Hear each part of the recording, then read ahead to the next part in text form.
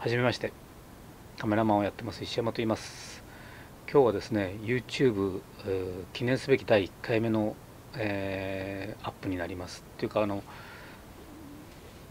自分が出ないねあの動画をアップしてたりするのはまあいろいろとやってたんですけどこうやって自分が出るのはね初めてなのでちょっと緊張してますし恥ずかしいなと思っていますが、えー、今後ともよろしくお願いします。で第1 1回目は何をやるかというとこの自粛生活がね皆さん多分続いてると思うんですけどもその中で、えー、写真好きな人がなかなか写真撮りに行く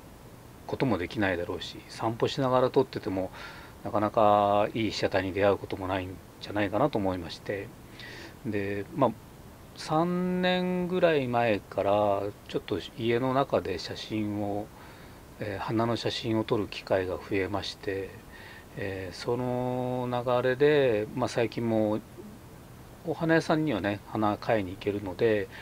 家に帰ってきて、まあ、花を一輪挿しに挿して撮るっていうことをやってます。で、えー、その特別なこと何もやってなくて本当に窓側の光だけで撮ってるのででそのまあ撮る技術的なことを伝えるっていうことでもないんですね。本当に何もやってないので。だけどまあちょっとしたあの工夫とかねレフ板の使い方とかそういうのが少し参考になればなと思って、えー、アップすることにしました。で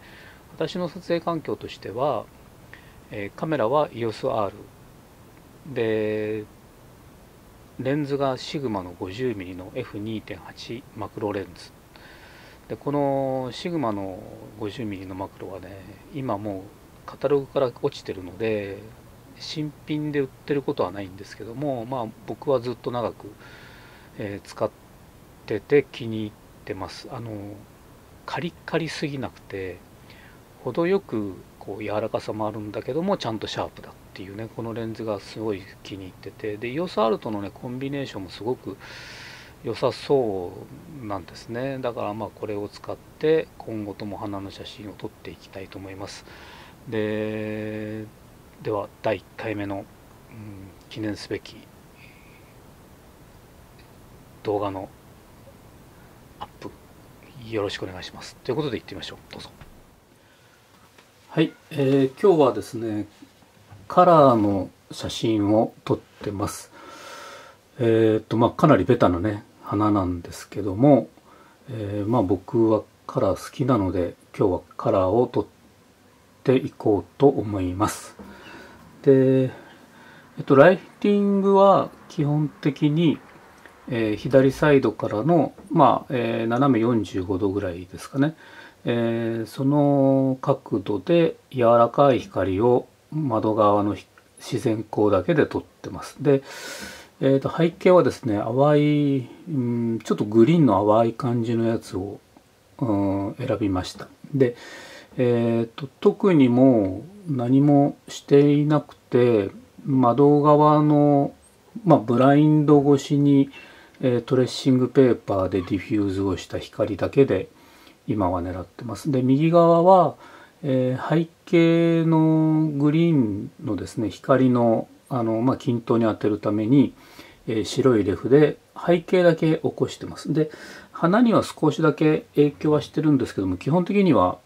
ほぼ後ろの、えー、バックだけにレフ板を当ててるような状態です。えっ、ー、とこれでですね、えー、一応今撮っていってます。でこれだけだとね何も、えー、参考にならないので、えー、少し、えー、っとですね黒で光をこう左サイドからの光を切ったりとかしてあの光の変化少し見てもらえればなと思います。これが今左のレフを黒レフですね。黒レフでちょっと光の調整をしてたりしてます。で右側にも少し入れてみます。でこれで、えー、カラーの右の、えー、手前の部分ですね黒い映り込みが入って花が締まってきてるんですけどもでもこれだとやっぱりねちょっと綺麗じゃないのでこれはもう取ってしまっていこうかなと思います。はい、えっ、ー、と、カメラと花の関係とライトの関係を少し説明したいので、こちらを、えー、動画を撮ります。これライトですね。で、花はこんな感じです。ちょっと上から見見下ろしてる感じですね。で、えー、背景は、まあ、こんな感じですよね。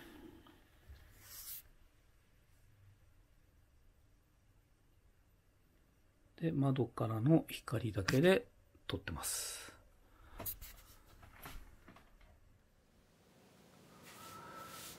はい、えー、こんな感じです。